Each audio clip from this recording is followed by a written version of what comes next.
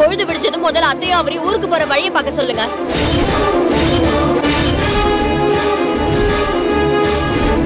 இவன் இங்க என்ன பண்றான் கல்யாணி தான் இப்ப நம்ம கம்பெனிக்கு சீஃப் ஆபரேட்டிங் ஆபீசர் நான் இனிமேல் இங்க வேலை பார்க்க போறது இல்ல பொழுது விடிச்சதும் முதல்ல அத்தையும் அவரையும் ஊருக்கு போற வழியை பார்க்க சொல்லுங்க.